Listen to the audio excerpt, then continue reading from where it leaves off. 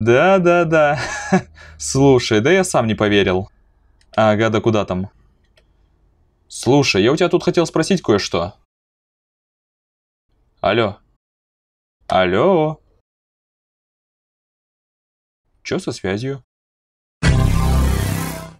Регистрация завершена. Уровень сложности – десятка червей. Название игры – жизнь.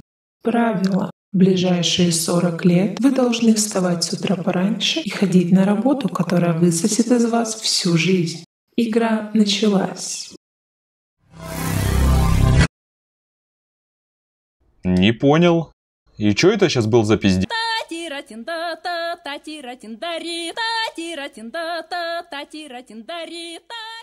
Всем привет, дорогие друзья, и добро пожаловать на канал Коротко о некоротком. С вами Кин, и игра начинается.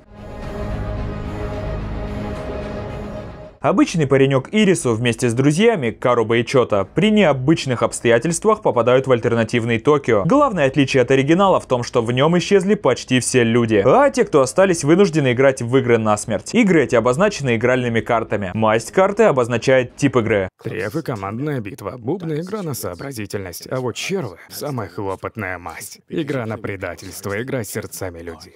А цифра ее сложность. Победители игры получают визу на жизнь в этом мире. На количество дней равное числу на карте. Проигравшие в играх получают смерть. По истечению визы, если не участвовать в играх и этим не продлевать ее, Смерть. При попытке покинуть уже начатую игру, думаю, понятно. Смерть. Ириса на руку играет то, что он достаточно внимателен и умен. Но вот сможет ли он выбраться из этого мира? И кто стоит за всеми этими играми? Вы узнаете в сериале «Алиса в пограничье».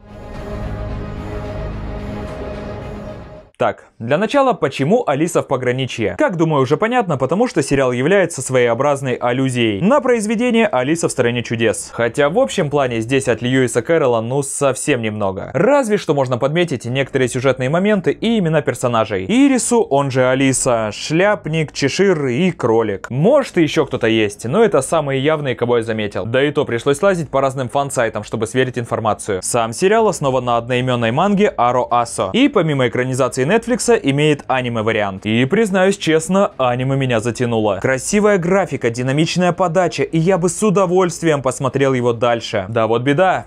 Оно херам оборвано. В нем только три серии по 20 минут. И заканчивается оно на самом интересном. Если так сравнить, то главное отличие сериала от аниме в том, что в аниме нас сразу забрасывают в сюжет. А с персонажами мы знакомимся по ходу дела. В сериале же нас сразу немного вводят в курс, знакомя с главными героями и их характерами. Ну и соответственно, по ходу происходящего мы узнаем о них все больше. Во всем же остальном, первые три серии сериала это более растянутые серии аниме. Мангу перед обзором я прочитать не успел, а поэтому с ней сравнивать я не могу. Но давайте сделаем так. Если вам понравится этот обзор и он соберет 100 лайков, то я прочту мангу и сделаю еще одно, скажем так, сравнительное видео. Правда, я никогда таким раньше не занимался, но думаю будет интересно попробовать. Самое главное, что мне понравилось, это то, что в отличие от других аниме-тайтлов, где главный герой попадает в какой-то мир игры, и там ему надо, например, найти супер меч, или же он супер залупер избранный. Здесь Арису и другие обычный парень, такой же, как и другие игроки. Да, он умен, но умен не в духе Киры из Тетради Смерти, просчитывающий 100 миллионов ходов наперед, а просто умен и внимателен, чуть выше среднего. Ну а помимо него есть и другие, не уступающие ему умники, благодаря чему нам становится проще ассоциировать себя с ним, а следовательно и больше за него переживать. Вообще я где-то наткнулся на информацию, что создатели заявили, мол вы с первых 5 секунд поймете,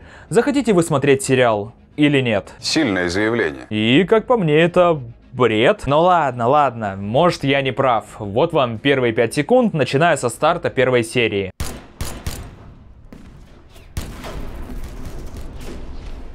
Ну что, как? Захотели смотреть сериал или нет? Будем честны, первые 5 секунд в сериале говно.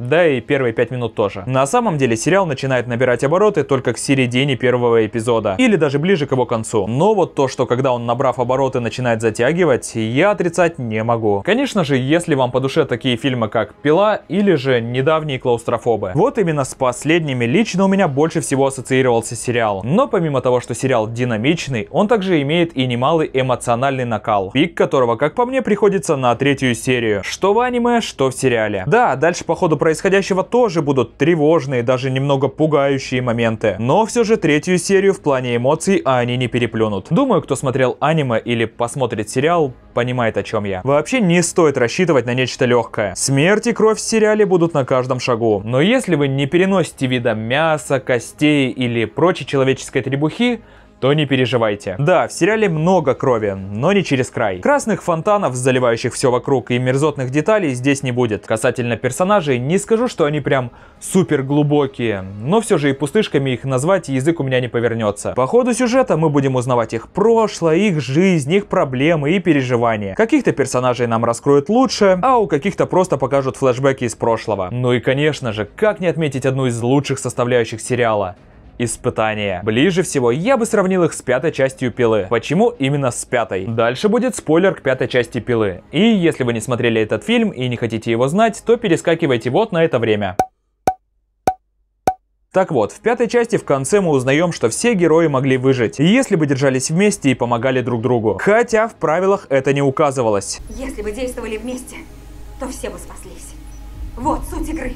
Тут ситуация та же. Есть задание и способ его решения. Но помимо очевидного способа, подсказки в испытаниях надо искать между строк, включая свой ум и наблюдательность. Сами же задания устроены дико интересно. И сразу хочется узнать способы их решения. Также сразу становится интересно, какой будет следующая загадка. Единственная загадка была как раз таки в третьей серии, где я не смог найти никакого альтернативного способа ее решения. Ну а в некоторых других, предполагая тот или иной вариант, я смог догадаться, как все устроено. К минусам могу отнести, по крайней крайней мере в первых трех сериях, это сравнительная подача информации.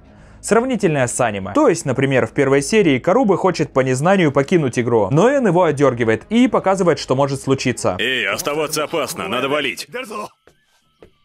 Стой! В сериале же все стоят на месте и информацию нам просто бросают в лоб.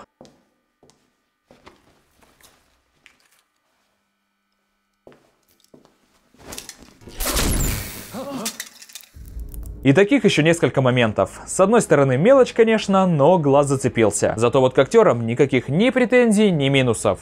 Как по мне, ребята отыгрывали на все 100, и, по крайней мере, я верил в их эмоции. Ну и на этом, пожалуй, подведем итог. Алиса в пограничье – динамичный сериал в атмосфере пустынного Токио. Для любителей задач и головоломок. Философия, в котором граничит с психологией и жестокостью человеческой натуры. Признаюсь честно, у меня было предвзятое отношение что к этому, что к другим азиатским проектам. Наверное, я ждал море крови, отрубленные руки, кишки, неуместные гримасы и что-то в этом духе. Но меня приятно удивило то, что нет. Тут этого нет. И как по мне, Алиса вполне может конкурировать со многими американскими проектами, ни в чем им не уступая.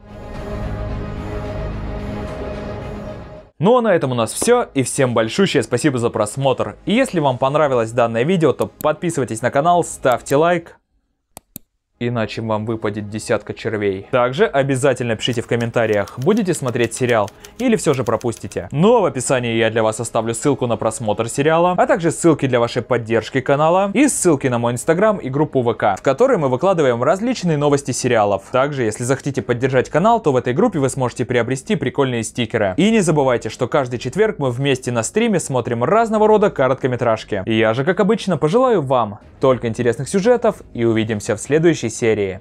Пока!